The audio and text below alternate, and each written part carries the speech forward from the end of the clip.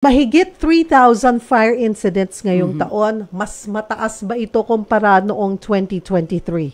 Yes, ma'am. Unfortunately, nasa 25% po ang, Ang increase itinaas. natin ngayong taon compared last year. Oo. Um, medyo alarming po yun ha. Mataas Right, po yung ma'am. 25%. At saan po madalas magkaroon ng sunog at bakit po kaya dito rin sa mga lugar na yun? Doon po sa naitala nating 3,000 na. Based on stat, ma'am, it's nasa NCR pa rin po. Yung majority ng fire incidents natin and then sumunod ang Region 6 at pumapangatlo po ang Region 4A. At ah, kadalasan po nito ang ah, residential po ang ah, incidents natin. Okay, saan po madalas ano, um, ah, ano po yung kadalasang nagiging Yeah. sanhi po ng sunog doon sa mga residential area? Kasi doon po sa doon sa 3,000, ilang porsyento po doon ang residential area? I'm sure more than 50%. Yes, ma'am. Ang hawak po natin nasa 1,351 ang residential. Ah, 1,351. Tapos Opo. kasama na dyan The yung rest mga... po ay ah, mercantile, industrial at iba-iba pa pong mga occupancies. Pero yung ano bulk Yung talaga bulk po, residential, residential area. po ang top. Ano po yung mga kadalasan nagiging sanhi ng sunog? If you happen to remember po, last year, electrical ignition. Aha. Tapos nung ah, pandemic, ah, open flame from cooking.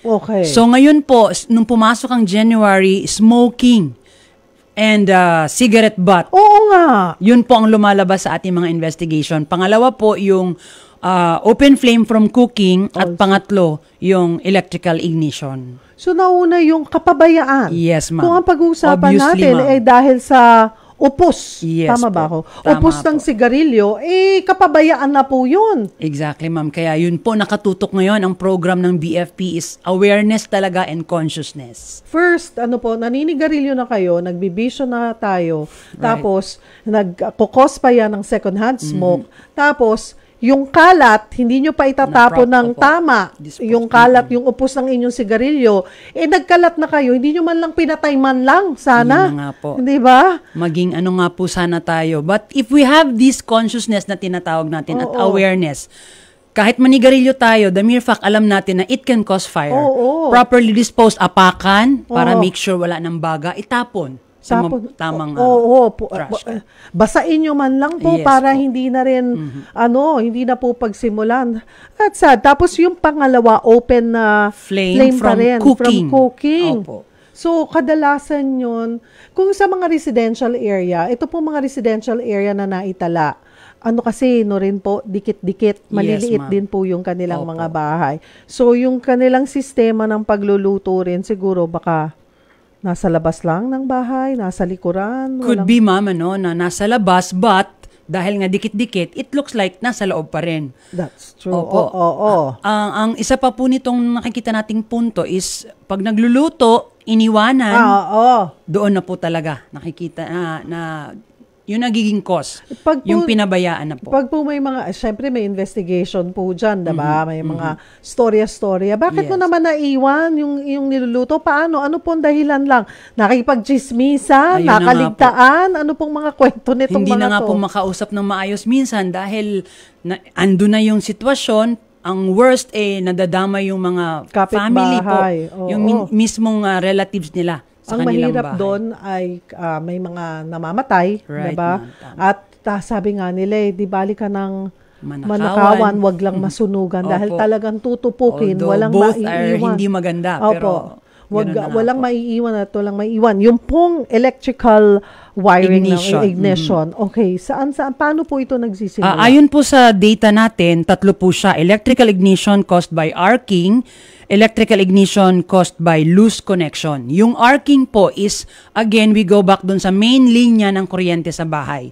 Na as time goes by, nagbi-brittle, nag-chip, or kinukutkot ng mga daga. Oo. Hindi na may maintain. So once dumaloy po yung kuryente, nag-arc yung kuryente from one end to the other, nadadamay na po yung light materials nung bahay. oo. At ito naman pong loose connection, these are mga appliances natin, nakatagalan na rin, yung plug, naglulus na, hindi again na monitor or nagtitipid, nilagyan lang ng tape, and eventually causes fire. Yun po, yung dalawang yun ang pinaka Yes po. uh, main na nakikita po nating dahilan. Mm-hmm. O- Okay. Um, nagkaroon din po ng mga, doon po, okay, um, yung bulk po nung 3,000 mga kapatid residential area. Mm-hmm. Pero yun din, kabi-kabila rin yung ating nare-report. Okay, nagkaroon din po ng forest fire. Yes, ma'am. So, um, sa may Benguet area, Opo. ano po bang update doon? Yun po ba naapula na or patuloy pa rin pong binabantayan? Kasi Opo, ma'am. hindi Ah. madali ah, mag-apula. Very much challenging po sa bureau California talaga. nga po, hirap na yung Amerika Right. na yun ha, hirap Opo. na silang Kaya- i-control yun. Kung, kung pwede nga lang pong madaliin yung BFP Modernization Program, Mm. which is a 10-year program, para ma-address na nga din po itong response namin when it comes to forest fires dahil kaila, mas, mas appropriate po talaga ang aerial when it comes to Yeah. forest fires.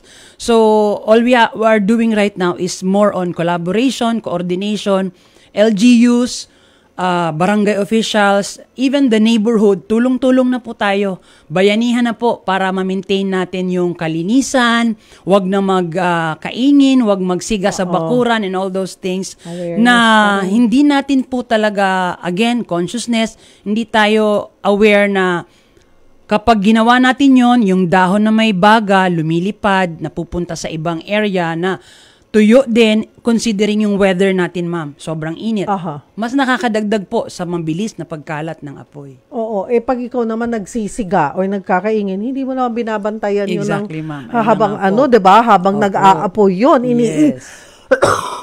kadalasan iniiwan lang. Yun na nga po. So, yun po. Grass fire naman, anong kaibahan po niyan? Halos ganun din yan, ma'am. Dahil sa sobrang init or could be caused by yung pinitik na sigarilyo, hindi na nga po natin napapansin. And then hanggang sa kumalat na siya at ah, wala na pong ibang choice kundi rumisponde na tayo. But yung aside from the fire na maaaring kumalat sa bahayan, yung usok po mismo, may effect na rin po yon sa ating community. Balikan ko po yung ah, forest fire. So far po ba ito contained na? Ah, ayon po sa in- investigation natin, ma'am, controlled na po siya. Although yung cause nga po ay still undergoing po. Investigation. Hindi, at saka hindi na, okay, controlled na siya, pero hindi natin masasabi na talagang fire out na. So, kailangan binabantayan pa rin. Yes, ma'am. Minomonitor pa rin. Kasi dahil nga sa init ng panahon, can rekindle yung area. Opo. Alam mo, okay na para mamaya Yes. mag-ano na Mhm. naman. So talagang kailangan po bantayan. Mamaya pag-usapan natin yung sinasabi yung modernization kung paano ito Mhm. makakatulong. Lalo na yung mga ganito kung malakihan na po.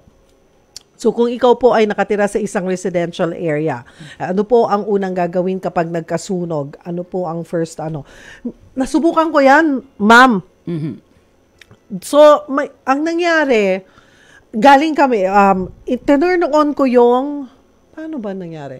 Tinurn on ko yung aircon. Mhm. So, biglang may lumabas na puting usok. Okay parang, ah, okay, nag, parang foggy na ano.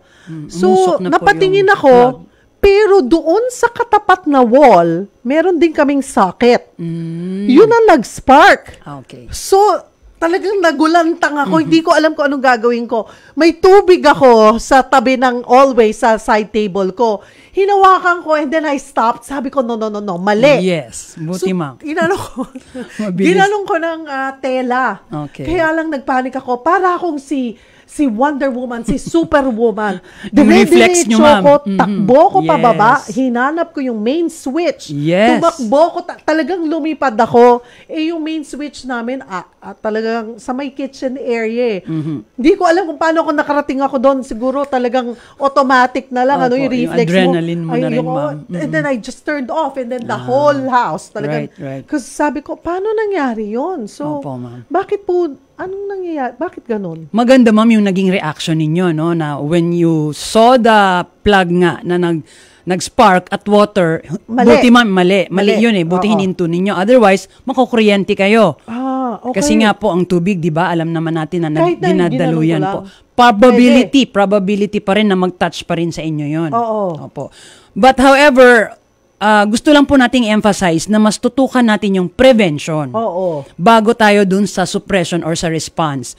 So sa prevention, ma'am, doon na po papasok yung ating tinatawag na annual check up or maintenance, dyan na po talaga yon. Sabihin na natin, uh, you have to spend, okay. Pero isipin natin, ma'am, kung how it's how much it's gonna cost kung hindi natin spend ng kaunti for the checking ng inyong line ng kuryente. Mm-hmm. Dahil nga po habang tumatagal, nag, nag uh, lumalaki ang pamilya, nagdadagdag ng equipment, appliances, nagre-renovate, pero yung main linya ng kuryente, na-check po ba natin?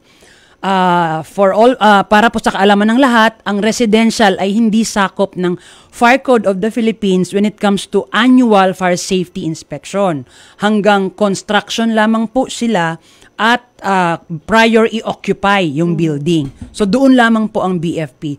So ang atin pong laging pinopromote dito nga po sa ating uh, mga programa is yung prevention, consciousness, awareness. Now, nandun na po tayo sa situation, yung nangyari sa inyo ma'am. Tama po yon yung ginawa ninyo. You went down doon sa main switch at pinatay. And inform, call right away. Mm. Good thing ma'am, alam nyo kung saan yung main switch. Oo, oo, oo. So, again, we go back sa prevention. Part of prevention is, alam mo ba kung saan ang main switch? Oo. Or kahit alam mo, do you know how to switch it off? Pero di ba ba, medyo luma na po kasi kami 90s pa yon eh, yung mm-hmm. place na yon. Kasi sinasabi nila dapat nag-automatic switch off. Mm-hmm. Di ba may mga ganun po? Meron naman po so, mga minsan, equipment na ganun, nag-o-auto. Yeah, nag-o-auto switch off siya. Ayun, breaker. Oo, mm-hmm. oo, oo nga. Pero so, with what happened, breaker. with what happened namin. po sa inyo, it looks like yung load ng aircon hindi kinaya na nung line. Oh. Kaya doon siya pumutok sa kabila. Sa kabila. Oo. Opo. Na, doon na, siya nag-release nung kanyang heat na ano, pinaka uh, kuryenteng hindi nga naikarga doon sa aircon. So the best thing po talaga, have it checked. Annual or siguraduhin mas safe na po tayo sa annual checking nito mm-hmm. with a, a registered or licensed uh, electrician. Uh, electrician yes, po, mga kapatid. Talagang kailangan pa. So, dapat pala at least once a year, yes, po, pinapa-check po mm-hmm. natin yan. Yes po. At sabi, pero pagdating sa mga eskwelahan, opisina, yan po ay sakop na. Yes, ng, which is sa mga school, four times a year po ang annual uh, fire safety inspection. The same with hospitals and uh, industrial companies. Uh-huh. Yun po ang naka-site sa fire code. Sa mga opisina at sa school, may mga fire drill. Yes, ma'am. Paano sa bahay? Pag residential? Ito na nga po yung ating program ngayon na OLP. OLP? Opo, Oplan Ligtas na Pamayanan. Okay. Na, na launch po ito noong 2019. Ito po yung pagbabahay-bahay ng mga bumbero, interviewing the may-ari, asking them, assisting them how to identify the hazards sa bahay, including yun na, checking na ng lines ng kuryente and the EDIT na tinatawag po natin, EDITH or emergency or exit drill in the home. Oo, oh, oh, so, actual po tayo magpa-practice. Lalabas tayo dun sa uh, Oo, yung exit, uh, secondary exit. exit. Oo. Opo. Fire exit, usually For example, yan. naka-grills. Oo. Yan. Oo. Saan Naka, po ano nakalagay yan? ang susi? Yan. Oo, ano yung Kandado. susi nung mm-hmm. ano. Ako nga sabi ko, dapat nandun na lang yun eh, katabi. checking, Total, nasa loob naman yung yung lock. Opo. So, iwag nyo nang ilayo yung susi nung lock yes. doon sa ano. And everybody should know, dapat ma'am, lahat nakakaalam saan ang susi. Uh-uh. Pero, importante din po, nadalawin yung padlock. Dahil Oo. katagalan nito, nangangalawang. Oo. Wag naman po sana pag kinailangan, eh, hindi na mabuksan. Minsan nga, hindi lang yung padlock, kahit na hindi naka-lock yung ano, fire. Pero yung, yung, yung mismong, oo, yes, ayaw tama, na mabuksan. Tama. Yan, tama po. Kaya consciousness po talaga, awareness. And it has to come from yung adults natin, ano po, Oo. para turuan yung mga bata, mag-usap kayo in one time kumakain kayo o mga anak, pag nagkaroon ng emergency, doon tayo sa tapat ng tindahan ni ni mm. Aling Nena, magkikita. Mm. Pag gabi, labas agad kayo. Huwag mm. nang babalik ng bahay, huwag pupunta sa banyo. Mm-mm. Oo, po. usually doon natatrap eh. Mahalagang natatrap. usapin. Mm-hmm. Oo, iniisip ko nga, dapat pala lahat ng kwarto sa bahay, lahat yan dapat may fire, may, ano, May exit. ah, yung fire Opo, exit, ano Secondary po? exit. opo. Secondary exit. And if you have mga senior citizen, mga uh, requiring have a special- assistance, oh, I have a yun special po, brother. they should be located dapat po sa second floor. Ah, ground First floor ground rather. floor. Ground floor. Opo. Yun lang. Paano kung wala kang kwarto sa ground floor, Ayun no? po. Di, so, dapat may plano po. kayo. may Yes, complete tama. plan po Mhm. kayo. Pero, the thing with my brother is, nakasituated siya doon sa may sliding door na Access um, sa labas oh, agad, pa, pababa, oo. Yes. Hindi opo. na siya kailangan po. idaan sa sa Yes, hagdan ma'am. kung sakali man. Ang dami po palang dapat i-consider natin. Ano, mga kapatid, kayo ba? Na-check nyo na ba? Kailan kayo huling nagpa-check ng wiring sa bahay? Kailan kayo binisita ng, sabi nga ni ah, Miss Annalie, kailangan ay ah, licensed ah, technician, Electrician, electrician. Hindi lamang po basta yung, ay si kapitbahay, sanay mangumpo niyon, Right. okay na yun, pwede na yun. It's best po na lisensyado yan. Um, it might cost us, but you know, safety po yan ng buong tahanan ninyo. Kailan nyo chinek na yung mga exit po sa inyo for fire, pag sakaling magkasunog, eh, nabubuksan pa sa tagal ng panahon, baka hindi na nga po, ano, at saka kakasya ba lahat doon? Yes. Baka mamaya kakapiraso, eh. kakapiraso May ano yung- naman po, may required size ah, naman po meron yan. talagang Mm-mm. size. Na mag-fit Naku, talaga yung katawan floor, natin. i-check natin mamaya. Minsan, ang naisip ko lang ngayon, dapat pala lahat ng kwarto mayroon. Yes, ma'am. Minsan Hanggat kasi isang po. area lang eh. Hanggat maaari po. Oo, One room. Kung kakayanin. Kasi kung what if sa hallway nagmula and doon kayo lahat e-exit. Oo, So yung mga ganong ano po, ah, anticipation. Oo. Nasa second floor ka nga, may exit nga. Mhm. Paano ka bababa? Right. Baka wala din pong hagdan. Kaya mahalaga din po Diba? ang emergency lights. Ayun. Kasi sa gabi or madaling araw nangyayari ang sunog at kung ito ay caused by electrical ignition, affected lahat. Whereas emergency lights, battery operated naman siya, meron po kayong ilaw emergency during emergencies. Oo. Meron ngayon yung nabibili, ma'am, yung ano lang eh, ah, solar, no? Mhm, Power. yeah. So, ididikit mo lang yan ha, during the day. And, opo, may tapos sensor may pag sensor gumagalaw. lang. Pag may galaw, nag-on na lang yun Mhm. bigla. So, yun Big help sa din po mga yun. gusto nyo po ay maging sa ano yan, okay yan sa mga magnanakaw, matatakot sila Yes bigla na po, lang actually, dual purpose. po yan, dual Yes. purpose.